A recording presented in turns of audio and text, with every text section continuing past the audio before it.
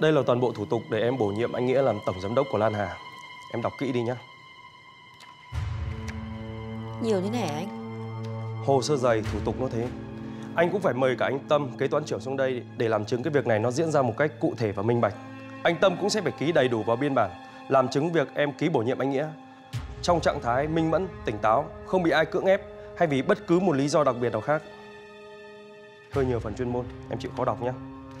Những chỗ cần ký ấy, thì anh đã đánh dấu riêng ra đây rồi. Em đọc kỹ, ký, không lại sót. Vâng.